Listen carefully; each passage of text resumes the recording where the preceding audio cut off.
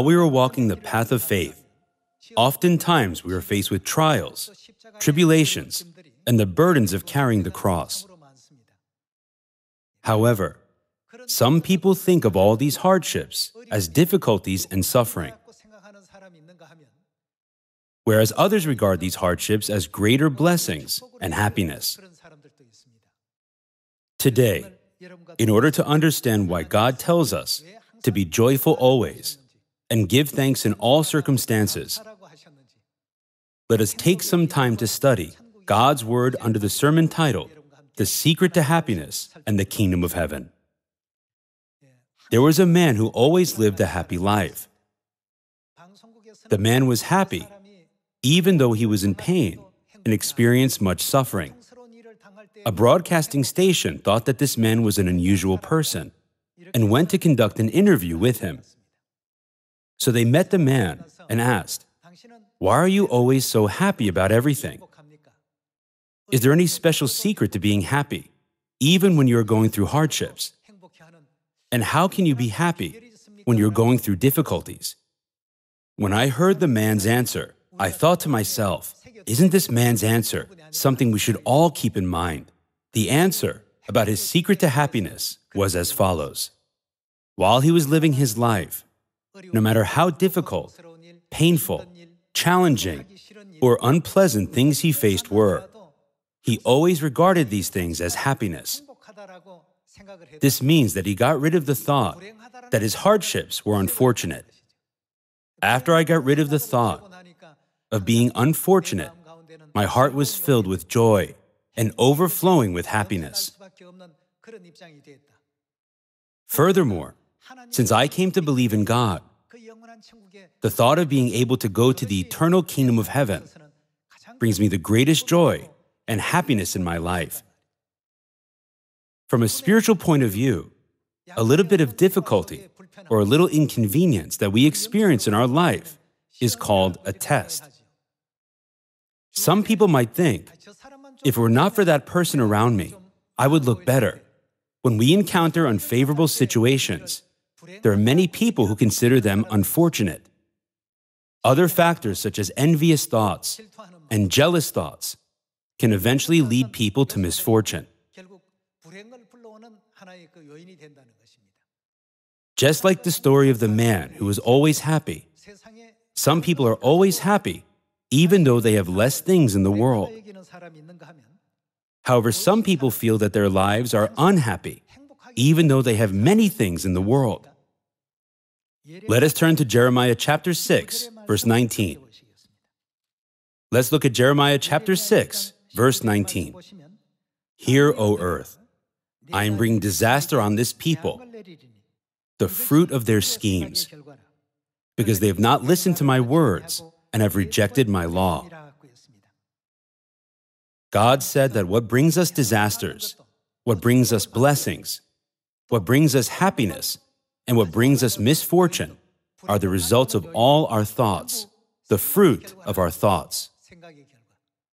With the same circumstances, there are people who find themselves unhappy, but there are also others who find themselves happy.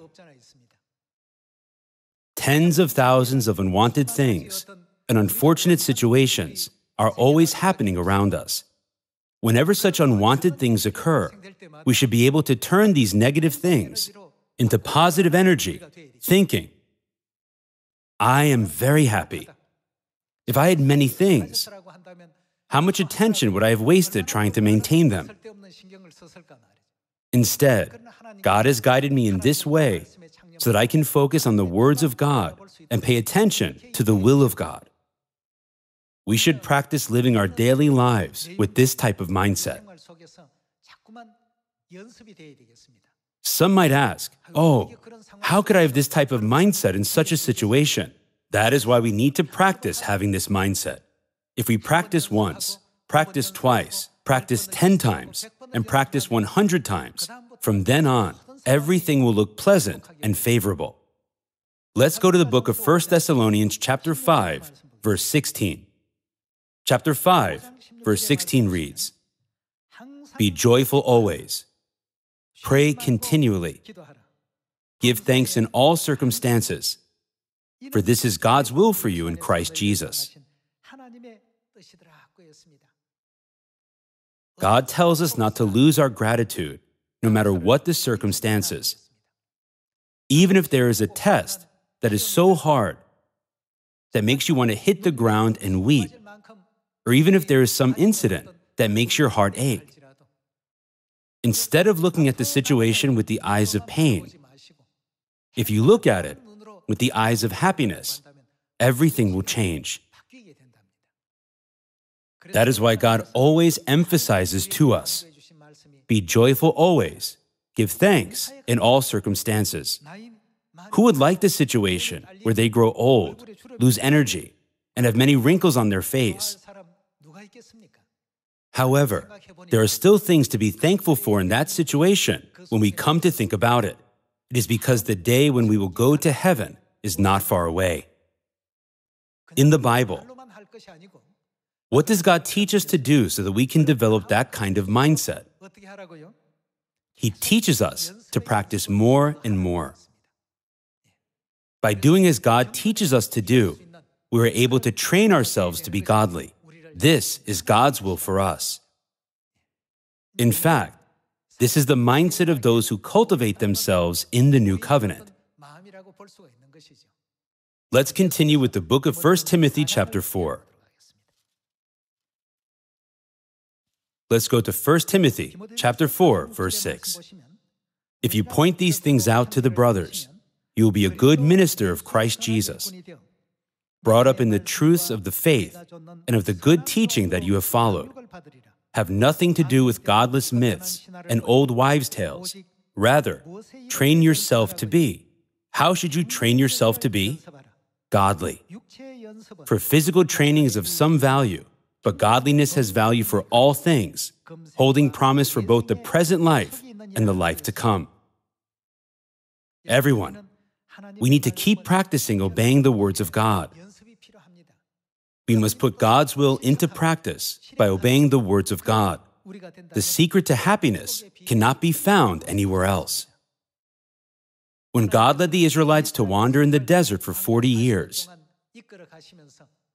who created all those situations that they encountered? It was God who created all those situations. Sometimes He put them in a situation of hunger sometimes in a situation of being humbled, and sometimes in a situation of thirst. God could have given them everything at once. Instead, they were put in a situation where they were in need or in a lower position. This is called a test, according to Deuteronomy chapter 8. It is written, God has tested your heart. The path of faith we are walking now is the path of testing. God sees whether we are joyful always. It is Father's will that we should be joyful always, and it is also His will that we should give thanks in all circumstances. However, if we say, I cannot give thanks in this situation, then we are failing the test. What does God say will come upon the whole world? Doesn't He say that the hour of trial is going to come upon the whole world? No matter what situation comes, if we never regard it as a misfortune, from then on, happiness will begin to come to us. No matter how hard Satan tests us, we never feel unfortunate. We are happy for this, and we are thankful for that. We are thankful for being with our Zion family members, and we are thankful for the simple fact that we are in Zion, the place of truth established by Heavenly Father and Heavenly Mother. We are also thankful for being allowed to go to the kingdom of heaven. Someone might ask, How can I be thankful when I am sick? Let us think about this for a moment. Even in that situation, you will surely find the reason to be thankful and the reason to be happy. Since God promises that He will soon grant us a world where there will be no more pain, I believe that all the heavenly family members will always be excited and have hope for the eternal kingdom of heaven with happiness when we think about going there. That is why it is written in 1 Timothy chapter 4 verse 6, train yourself to be godly. God tells us not to waste our time on unnecessary things. Instead, he tells us to focus only on training ourselves to be godly. There is joy and thanksgiving in the secret to being happy. God says, Give thanks in all circumstances. It is a regulation commanded by God. All the will of God is contained in that regulation. Doesn't the Bible say, Whoever does the will of Father will go to the kingdom of heaven? Despite this will of Father, if you say, I can keep the Sabbath day and the Passover, but I cannot keep the commandment to give thanks in all circumstances, you should be awake. We must obey all the will of Father. In order to reach that level of faith, we must practice and practice again. If you do not have that kind of mindset, after practicing once, try 10 times. If you still do not have that kind of mindset, after practicing 10 times, try 100 times. If 100 times is not enough, try 200 or 300 times. Therefore, no matter what situations happen to us, let us not regard it as a reason for unhappiness. Let us think, in order to lead me to the eternal kingdom of heaven, God sometimes humbled me, sometimes made me hungry, and sometimes made me cold and naked. Sometimes God put me in difficult situations in order to know what was in my heart, whether or not I would keep His commands. God, I'm so happy because I overcame all the difficulties that I face today. In a little while, aren't you going to lead me to the eternal kingdom of heaven that you have prepared for me? When we think of this, we can be happy no matter how old we are and no matter what kind of disease we carry in our bodies. Our physical bodies are like the garments of our souls. If they are used a lot, they will wear out. And if they are worn out, they will need to be repaired. Being in pain can happen to us at any time. For this reason, doesn't God promise us, I will give you the world where there will be no more pain? This is the greatest news. There will be no more death. Isn't this news phenomenal? Considering that God will grant us a gracious world where there's no suffering, pain, or sorrow, we must become the children of Zion who can find the reasons to be happy in the truth. As it is written in 1 Timothy chapter 4 verse 6, we must build up the power to turn our unhappiness into positive thoughts by practicing it. This is how we can train ourselves to be godly. Let's go to 1 Timothy chapter 6. We can learn many lessons from the faith of Apostle Paul, who's one of the forefathers of faith. Chapter 6, verse 7 reads For we brought nothing into the world, and we can take nothing out of it. But if we have, if we have what? Food and clothing, we will be content with that. Apostle Paul was such a happy man. Rather than wanting to have more than others, or wanting to have more luxuries than others, he said, When we came to this earth, we brought nothing with us. So when we leave this earth, we cannot bring anything with us. Isn't that natural? In his life, he found himself happy and satisfied as long as he had food and clothing. Apostle Paul received 40 lashes minus one, even five times. He was in danger from rivers and from bandits, and in danger from his own countrymen. Although many trials and dangers came before him, he never thought of them as trials or sufferings. Rather, he moved forward with only joy in his heart and hope for the eternal kingdom of heaven which he would enjoy later. The darker it is, and the gloomier it is, the brighter the light shines, doesn't it? That is why Apostle Paul knew how to be happy as long as he had food to eat and clothes to wear. Let's continue with verse 9. People who want to get rich fall into temptation and a trap and into many foolish and harmful desires that plunge men into ruin and destruction. For the love of money is a root of all kinds of evil. Some people eager for money have wandered from the faith and pierced themselves with many griefs. But you, man of God, flee from all this and pursue righteousness, godliness, faith, love, endurance, and gentleness. Fight the good fight of the faith. Take hold of the eternal life to which you were called when you made your good confession in the presence of many witnesses. God will grant this glorious moment not only to Apostle Paul, but also to all the children of Zion in the near future. Everyone, the secret to happiness cannot be found anywhere else. We should think that all the sufferings we have been going through are not unfortunate, since it is written in the Bible everything is the fruit of our thoughts. When we have such thoughts, we will always be able to rejoice and give thanks in everything we do. In this way, we will be able to follow God's will completely. Now, shouldn't all of our remaining time of faith be that way? Those who do not regard their circumstances as unfortunate can always be happy and maintain the faith to give thanks in all circumstances, which is God's will. However, what if we do the opposite? Let's turn to the book of James, chapter 1, verse 14. But each one is tempted. When people are tempted, they feel unfortunate rather than happy. They feel that they are unhappy with the situation they are in. But each one is tempted when, by his own evil desire, he is dragged away and enticed.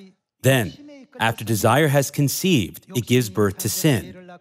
And sin, when it is full grown, gives birth to death. It is good for us to have desires for the kingdom of heaven. However, worldly desire leads us to temptation and unhappiness. Also, what we have practiced, to be godly and to have the mindset to never consider any circumstances as unhappy, is taken away. That is why it is written in verse 12 Blessed is the man who perseveres under trial. Let's turn to the book of James, chapter 1, verse 12. Blessed is the man who perseveres under trial, because when he has stood the test, he will receive the crown of life that God has promised to those who love him. Verse 14 says, Each one is tempted when by his own evil desire he is dragged away and enticed. This is something that destroys happiness. We should never think that we are unhappy under any circumstance. If we ever think, I am unhappy, we will be dragged away from being happy. Then we will end up living a life that is far from happiness. Where does this result come from? It comes from worldly desires. Since worldly desires keep infiltrating our hearts, we come close to doing the things that are not pleasing to God. And when we enter into such a life, we are bound to receive misfortune rather than happiness. We must always remain in God. Those who remain in God do not see any unhappiness because they do not have the eyes of unhappiness. During the 40 year journey in the desert, they could not eat or drink as they desired. At times, they were naked, cold, and hungry. Even in tens of thousands of difficult circumstances, Apostle Paul and the members of the early church never turned away from God. The love of Christ pulls us closer and compels us. In this way, they express their mindset. Who shall separate us from the love of Christ? Everyone. They were always happy in God. The Bible says, Everyone who wants to live a godly life in Christ Jesus will be persecuted. Even when they face persecution, they did not regard it as unfortunate thinking. In order to forgive our sins, our Lord walked a more painful path than the path we are walking. Now God acknowledged me and called me to live the same life as His life. Instead of feeling miserable, they felt happier and happier, thinking that they were sharing in Christ's sufferings. From this moment on, no matter what situation God gives us, let us turn any unfortunate situation into a happy one. When God allows us to complete all the gospel work on this earth, we will immediately go to the kingdom of God and wear the crown of glory that He has prepared for us. We will carry out the duty of the royal priesthood in heaven, being served by countless angels. We will also enjoy eternal life and blessings forever and ever in the world of eternity, where we will never grow old. Won't this glorious time be given to us? I believe that those who always think about this glorious time in the future will be able to follow the will of God that is written in 1 Thessalonians chapter 5. Be joyful always, pray continually, give thanks in all circumstances, for this is God's will for you. The secret to happiness lies in nothing else. From the spiritual perspective, the moment we think or say that the situation is unfortunate or unfavorable, all our energy is turned into negative energy. However, if you think the situation is fortunate, just as I told you in the story, you will be happy no matter how old you are. Some people might ask, Isn't it sad to grow old? However, we should respond, I'll meet Father in a little while. So why would I be sad? Rather, I am waiting for that glorious moment with happiness. We can say that this kind of mindset leads to the right kind of faith and that we have lived a righteous life. Sometimes God humbles us, sometimes He makes us hungry, and sometimes He makes us thirsty. God has prepared all these situations for us. After overcoming these situations, God will lead us to the kingdom of heaven. This is what our expectation should be. We should never complain by asking, What have I done wrong before God that my family is in such a difficult situation? During the 40 year journey in the desert, many Israelites complained and grumbled. As a result, they committed acts that were not pleasing to God. Today, with the fact alone that we are now in the truth, how should we regard our situation? Zion family members in India always ask this question when they meet with their members at church Aren't you happy? When they are asked, Aren't you happy? everyone answers that they are happy. All the family members of Zion, whether in India or around the world, go through difficult situations. However, they never regard their situations as unfortunate. They are happy. So I said, Has there been a greeting like that? I must learn it. I need to practice a little more to train myself to be godly. Everyone, happiness comes from the mindset of thinking that you are happy, no matter what the circumstances. Apostle Paul also said, if we have food and clothing, we will be content with that.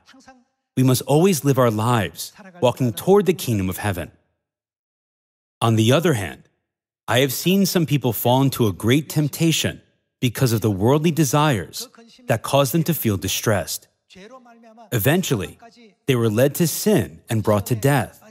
You must never be that kind of person. God teaches us to be joyful always in Him. And He also teaches us to give thanks to Him. Then why do you say you are unhappy? Why do you say you are depressed? Why do you say it is hard? Everyone, through this sermon delivered on Sabbath day, we must realize that you and I are happy people. Everyone, aren't you really happy? Everyone, please repeat after me. I am happy. I am happy because I am in God. I am happy because I have hope for heaven. I am happy because I am with father and mother. I am happy because I have heavenly family. I am happy because I am in the truth. As I previously mentioned, there are so many things that we should be happy about. However, just because we are humbled a little, or because we experience small inconveniences in our daily life, we let go of all our happiness and cling to the meaningless and trivial things, saying, I am unhappy. We must never become the foolish people who lose faith, leave the truth, give up the kingdom of heaven, and desert God because of trivial matters. Since Satan constantly attempts to attack us in that way, God has fortified us by giving us warnings in advance. What does God say we must always do? God says, Be joyful always. When God says, Be joyful always, He meant, Be happy always. No matter what situations we are faced with, and no matter what happens to us, we should never think, This is unfortunate. This is because the Bible says that all things are a result of our thoughts. In this way, I would like to ask all of you to become evangelists who can deliver happiness to those around us who are living unhappy lives. We must go to them and say, if you believe in God, you will be this happy. We have hope for the kingdom of heaven. We have the kingdom of heaven where there is no death and no pain. Who has prepared the kingdom of heaven where eternal life and blessings abound? Father and mother have prepared everything. Why are we unhappy when we are going to this wonderful world?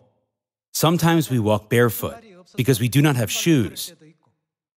We may walk under the scorching sun for a while because we do not have something to protect us from the sunshine. However, should we stop walking our path because of these hardships? No, we should not.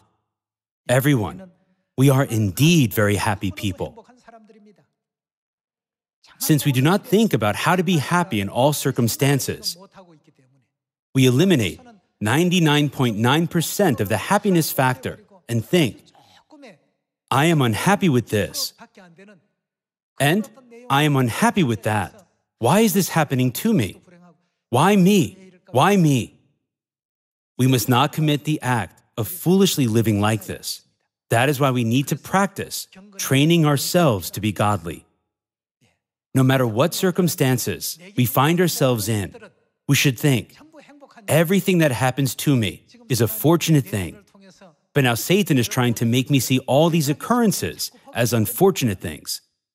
In the truth of the new covenant, we must practice getting rid of the mindset that we are unhappy.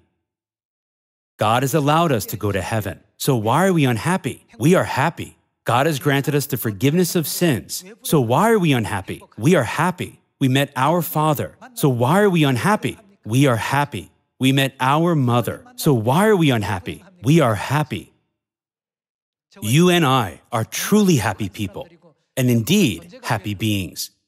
We should not talk as if we are unhappy, or we should not say things as if we are unhappy or unfortunate, which makes us feel frustrated. We should realize how happy we are According to the book of 1 Corinthians chapter 10, what does it say about those who cannot enter the kingdom of heaven? It is written, those who grumble will not go to the kingdom of heaven. Why is that? It is because those people did not realize the truth of the new covenant. They are those who have been baptized but have not followed the way of the new covenant. God does not force us to follow his command, do not grumble. However, if we realize the secret to happiness, all grumbling and complaints will disappear. It is because we always rejoice.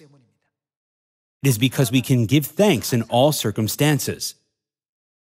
Those who give thanks in all circumstances never grumble those who rejoice all the time do not complain. When you are happy, you never get angry, no matter what the people around you may do. It is because you are happy. Everyone, we often forget to think how happy we are in the truth of the new covenant and how much we ought to rejoice every day. Let us think of the special gift of the new covenant from father and mother, the grace of the forgiveness of sins, and the privilege of going to the kingdom of heaven. If we regard all these blessings as insignificant, we will come to focus our attention on even the most trivial things in the world. And we will become foolish people like Esau, trying to give away the glory of heaven in exchange for just a few sweet words that ultimately drag us back to the world. From this moment on, since the truth of the new covenant is the truth that brings us happiness, we must continue to find happiness in it. Let us keep practicing finding happiness. When we are faced with an unfortunate situation, we should not think that we are unhappy, but approach it from the perspective of happiness. Then God will say to us, you do not complain, even though you are in such a situation. You have now become heavenly people. Now I will guide you to the kingdom of heaven. There will come a day when father and mother will surely judge us in this way. That is why God says, Those who grumble will not enter the kingdom of heaven. From this moment on, even if there are problems with your family, your children, your neighbors, or your friends, and even if tens of thousands of unpleasant things happen while preaching, let us find the reason to be happy in that situation. Thinking that God created all of these situations and people in order to test whether we find ourselves happy or not. Also, I hope that you will be able to share happiness and joy and even the kingdom of heaven with many people around us who are in despair. By this, I would like to conclude this sermon. Thank you very much.